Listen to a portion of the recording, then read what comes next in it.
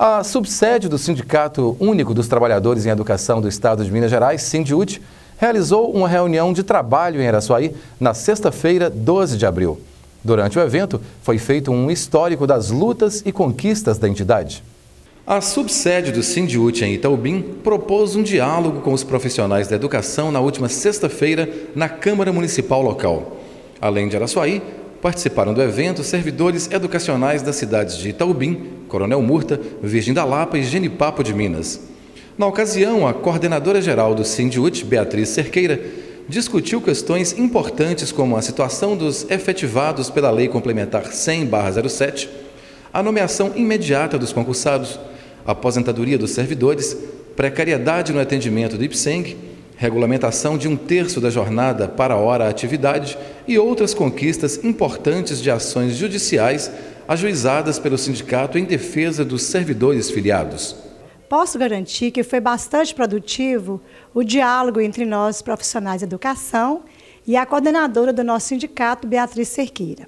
Ficou evidente que precisamos nos reunir mais e manter a nossa identidade de classe, para não deixarmos que nossos direitos conquistados se transformem em punição. Afinal, Minas Gerais é o único estado em que a lei federal, que institui o PIS salarial nacional, transformou-se em subsídio.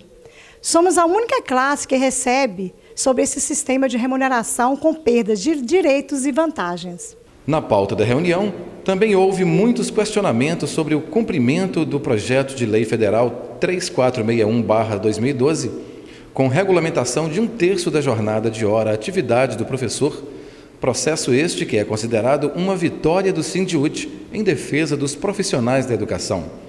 A falta de infraestrutura adequada tanto para alunos quanto para professores tem gerado profissionais desmotivados entre outras situações de flagrante desrespeito. Também o projeto de lei 3.461-12, que é uma vantagem que contempla parte da jornada de hora atividade do professor fora da sala de aula, tornou-se motivo de insegurança e de dúvidas. Porque, ao mesmo tempo que nos oferecem melhores condições de trabalho, onde nós podemos preparar, planejar melhor nossas aulas e interagir com os colegas e investir na nossa qualificação profissional, em algumas escolas, essa organização de jornada de trabalho ficou sobrecarregada. Então, vamos usar do, do bom senso, afinal, somos todos profissionais da educação. A coordenadora do Sindiut finalizou a reunião concluindo que a educação mineira que se vê hoje nas escolas é muito diferente do que é anunciado pelas propagandas e informes publicitários do governo do estado.